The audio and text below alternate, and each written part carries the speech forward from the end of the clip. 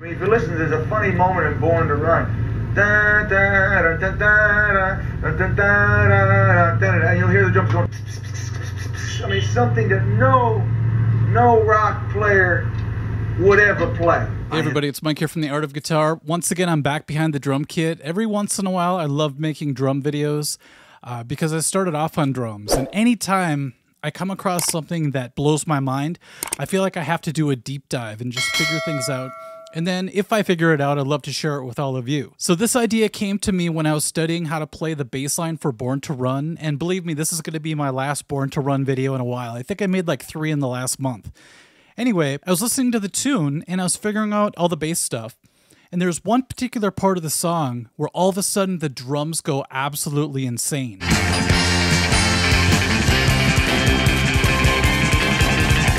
And it's really only a two measure, I'll call it a, a beat fill because it can kind of be one or the other. I mentioned that section in one of my videos and I talked about Max Weinberg playing that because I thought he was the drummer for the boss, you know, in the studio at the time. Turns out I was wrong. I didn't realize it till someone made the comment in the video and uh, he was like, man, that wasn't Max. That was actually a guy named Ernest Carter. Cut to Max Weinberg. I have never been able to play this one little lick that he played in the middle that's on the record. Tried to play it, very syncopated kind of jazz fusion part. And finally, it just never came off right, so I eliminated it, and I've never played it. That's when my obsession for this section of the song really solidified. So, what I did was I found an isolated drum track and I slowed it down to 50% to really hear what was going on.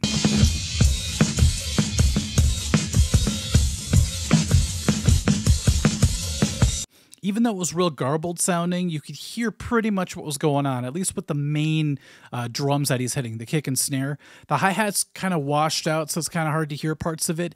But I decided I would make it a mission, my mission, to learn how to play this fill, even if I never play it up to speed, uh, just to figure it out from the inside out. Now, like I mentioned, the parts that I could really hear were the kick and the snare drum parts.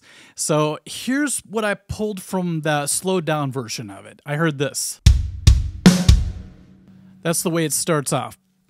It kind of reminded me of like the Immigrant song by Zeppelin, except with one less kick. So I hear this now. The hi hat's not right yet. Don't worry. Okay, then after that, I, I break it into basically three sections. The second section, I heard this. So it's very much like the first one, but there's an added kick drum. There's a double on the final kick. And then on the final section, which is the longer section in my mind, I just heard the song Scentless Apprentice by Nirvana, which is really funny because when I researched for this video, I found out it was Scentless Apprentice. I always thought it was Senseless Apprentice. But I hear that when I heard the last part of this drum fill. So here's what I hear. And if you know that Nirvana song, you probably totally agree. Okay, so if you put that together with the incorrect hi-hat, you get this.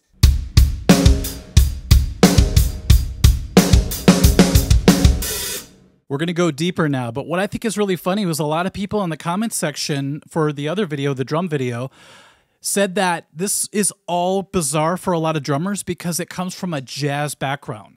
So Ernest Carter playing his jazz chops in Born to Run is creating this fill. But now that I'm playing it or I'm trying to learn it, I'm hearing more of a rock styling.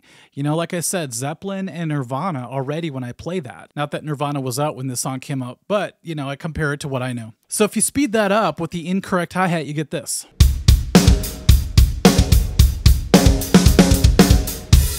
Being more of a rock drummer, it's so much more natural for me to do the immigrant song kick drum pattern instead. It would have been so much easier if it was that, but it's not. Okay, then the biggest challenge I had was trying to figure out what the hi hat was doing. And that's when I had to basically start over. I had the kick drum and the snare drum down, kind of pretty much. But when I added this new hi hat, it threw everything out the window for me. So here's what I'm hearing when I slow it down. Now that's if I keep the hi hat closed. If you open it like he does, you sound more like this. which adds another level of complexity to it. You ever have a pattern that you just feel really natural playing? This one is a pattern that I feel really good doing. This one.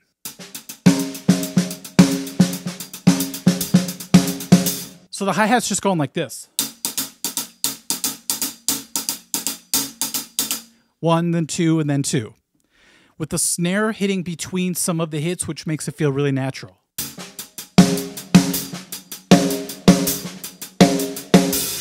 I could play that sticking all day and feel totally comfortable. It's funny how some drummers just naturally click with certain patterns.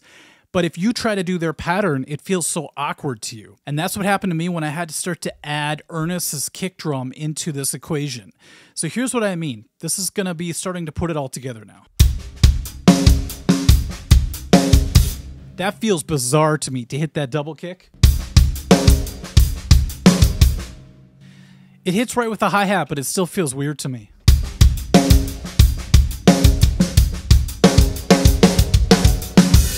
But I do love how that Nirvana beat at the end really locks into the hi hat. It's a great feeling when it comes together. So I started to do that kind of slow.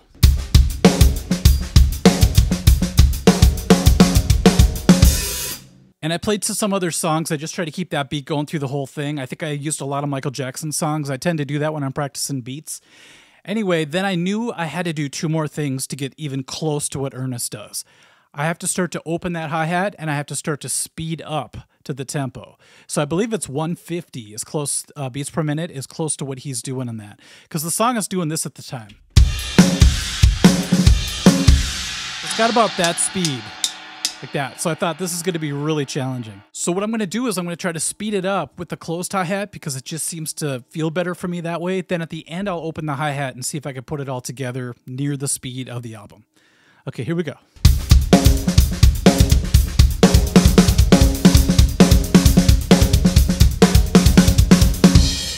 When I finally reached that speed, by the way, this has taken me about a week now to even get to that speed. I was like, I could see why Max Weinberg kind of just pushed it aside because the real details of this is pretty intense. And when you're in the middle of a song and you're going off, it's really hard to suddenly switch gears and play this crazy fill. Okay, let's keep going with this one, and then I'm going to start to add the open hi hat. It would be so much easier if it was just that immigrant song groove. I'm just so used to that. Okay, let's keep going.